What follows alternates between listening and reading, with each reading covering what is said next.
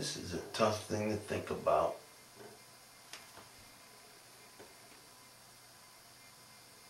I don't normally talk to myself. But my goodness, if what happened really happened a few days ago, it's, I don't know, it's, it's too much to handle. I mean, I gotta call somebody on this.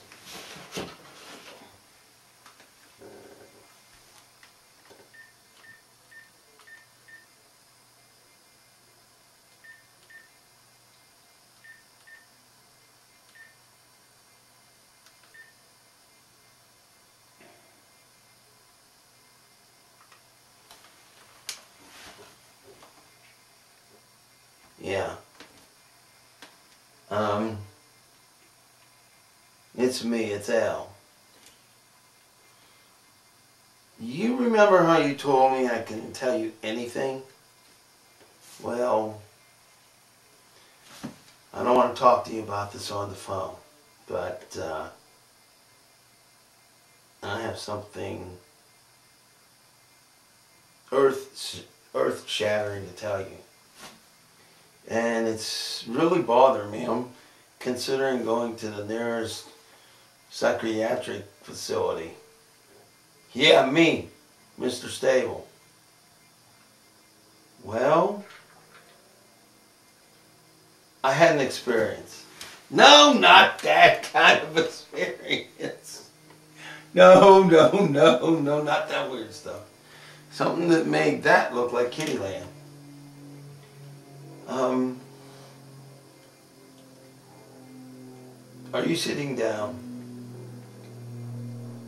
Are you sure you can handle anything? Because what I'm about to tell you has probably never ever occurred on our planet before. Uh, unless maybe it happened to other people, but most likely it's never occurred. You're sure you're sitting down? All right. Keep in mind that I'm already wondering if what happened a few days ago was a nightmare, a delusion, or reality. And if it was, if it were a reality, whew, it's, it, like I said, earth shattering. Well, here goes. Okay, I'll quit being long-winded. I can't help it. I met myself about two to three days ago. Well, okay. I don't want to really put a date on it, but about two days ago. It was early morning, the night, couple of days ago, probably about one or two. I had dozed off in one of my you know, offices and next thing I know, somebody's talking to me, which wouldn't be scary, except that it was me talking to me. Yeah. Me talking to me. No. Not not mentally talking to me, but actually physically in the body form in the bodily form. Okay, fine, I made a mistake. Geez. Well, if you saw yourself, I think you made a couple of mistakes, wouldn't you? Any rate, apparently in the future, and I don't want to say too much, but apparently I meet, well, I, I met my clone here in the past, my past, it's confusing. It's my past and it's also my future.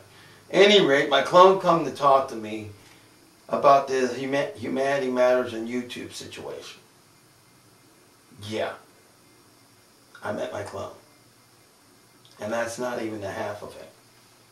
Apparently, right now as we speak, there's at least 22 clones, and there could be an endless amount of clones of myself. But I'm glad you're sitting down because, according to myself, which doesn't even make sense, but myself the clone, there's apparently endless clones of anyone who wants endless clones. And things that, well, things that are amazing. I will say one thing the future is extraordinarily bright, positive, and humanity does survive. But I um, I don't know what to think. I the guy call myself the guy. My clone even offered to pinch me to prove that he was real. And of course, yes, I'm a humanitarian, but I told him I'd whoop his butt if he tried. But I really don't know what to think. I really don't.